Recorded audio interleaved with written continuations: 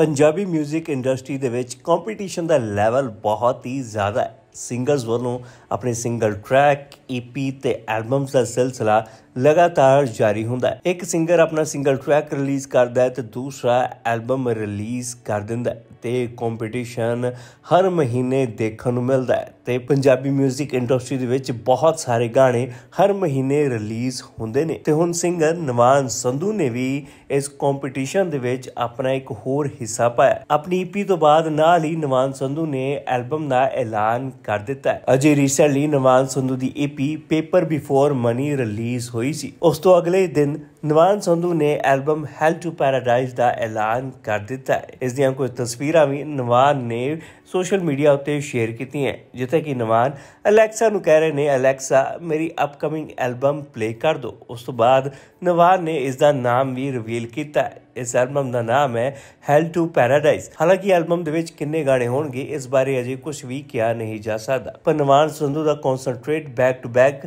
ਗਾਣਿਆਂ ਵੱਲ ਹੈ। ਜਿੱਥੇ ਕਿ ਨਵਾਨ ਦੇ ਫੇਮਸ ਗਾਣਿਆਂ ਦੀ ਗੱਲ ਕਰੀਏ, ਇਸ ਦੇ ਵਿੱਚ ਫੇਮਸ ਇਨਫ ਹੀਰ ਰਾ ਦਿਲ ਲੱਗੀਆਂ, ਜੇਲ ਬਲੈਕ ਲਾਈਫ ਦੋ ਅਸਲੇ ਨਹੀਂ ਬੋਲਣਾ, ਸੀ ਵਾਕ, ਜੈਲਸੀ, ਸਟੈਂਡ ਰੁਕ ਤੇ ਕਈ ਹੋਰ ਗਾਣੇ ਸ਼ਾਮਿਲ ਨੇ। ਤੇ ਹੋਰ ਈਪੀ ਤੋਂ ਬਾਅਦ ਨਿਵਾਨ ਸੰਧੂ ਆਪਣੀ ਐਲਬਮ ਹੈਲ ਟੂ ਪੈਰਾਡਾਈਜ਼ ਲੈ ਕੇ ਵੀ ਆ ਰਹੇ ਨੇ। ਈਪੀ ਦਾ ਟ੍ਰੈਂਡ ਤਾਂ ਬਿਲਕੁਲ ਹੀ ਨਵਾਂ ਹੈ, ਪਰ ਪੰਜਾਬੀ 뮤직 ਆਰਟਿਸਟ ਪੁਰਾਣੇ ਟ੍ਰੈਂਡ ਯਾਨੀ ਕਿ ਐਲਬਮ ਦੇ ਦੌਰ ਨੂੰ ਫਿਰ ਤੋਂ ਟ੍ਰੈਂਡਿੰਗ ਦੇ ਵਿੱਚ ਲੈ ਕੇ ਆਏ ਨੇ, ਜਿੱਥੇ ਕਿ ਪਿਛਲੇ 2 ਸਾਲਾਂ ਦੇ ਵਿੱਚ ਬਹੁਤ ਸਾਰੇ ਪੰਜਾਬੀ ਕਲਾਕਾਰਾਂ ਵੱਲੋਂ ਐਲਬਮਸ ਰਿਲੀਜ਼ ਕੀਤੀਆਂ ਗਈਆਂ, ਜਿਸ ਦੇ ਵਿੱਚ ਦਿਲਜੀਤ ਦੋਸਾਂਝ, ਅਪ੍ਰਿਤ ਮਾਨ, ਗਿੱਪੀ ਗਰੇਵਾਲ ਤੇ ਕਈ ਹੋਰ ਕਲਾਕਾਰ ਵੀ ਸ਼ਾਮਿਲ ਨੇ, ਜਿਨ੍ਹਾਂ ਨੇ back to back albums release ਕੀਤੀਆਂ ਨੇ ਤੇ ਹੁਣ ਨਵਾਨ ਸੰਧੂ ਵੀ ਇਸ ਲਿਸਟ ਦੇ ਵਿੱਚ ਸ਼ਾਮਿਲ ਹੋ ਗਏ ਨੇ, ਜੋ ਕਿ ਆਪਣੀ upcoming album hell to paradise ਲੈ ਕੇ ਆ ਰਹੇ ਨੇ। ਨਵਾਨ ਸੰਧੂ ਨੇ ਵੀ ਪਿਛਲੇ 3-4 ਸਾਲ ਤੋਂ ਬਹੁਤ ਸਾਰੇ ਗਾਣਿਆਂ ਦੇ ਨਾਲ ਆਪਣੇ ਆਪ ਨੂੰ ਸਾਬਿਤ ਕੀਤਾ ਹੈ। ਨਵਾਨ ਸੰਧੂ ਵੀ ਪੰਜਾਬ ਦੇ ਸੁਪਰ ਹਿੱਟ ਸਿੰਗਰ ਦੀ ਲਿਸਟ ਦੇ ਵਿੱਚ ਸ਼ਾਮਿਲ ਨੇ।